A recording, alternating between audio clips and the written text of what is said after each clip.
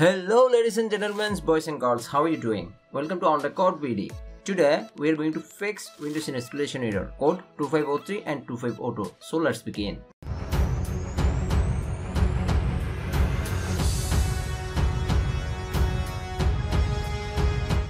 This is first method. Go to this PC. Then local disk C. Double click on Windows folder find temp folder. Right click on temp.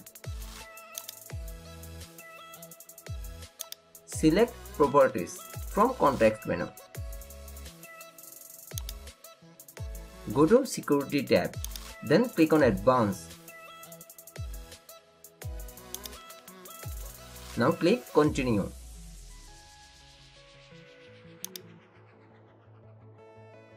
Select account then click on edit. Tick mark full control then click OK. Do this for all admin account. Then click apply and yes.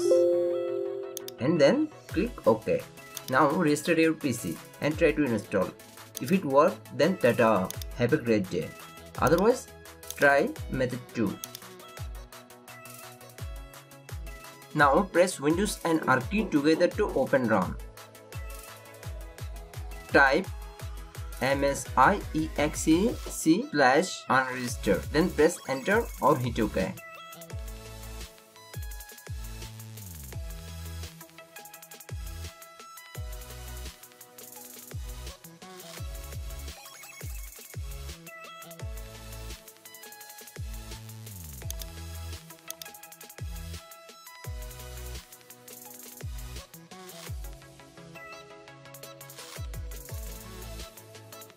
Again, press Windows and R key. Type msiexec slash regserver, then press enter or hit OK.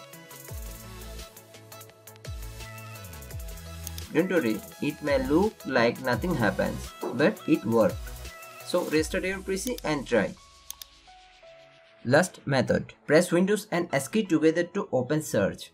Type CMD. Select Run as Administrator. Go to description and copy first code and paste it in command prompt. Then press enter.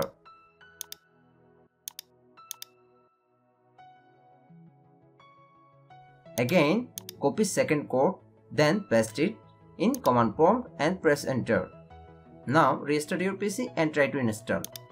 That's it today. Hope these methods work. Comment below if you need further assistance.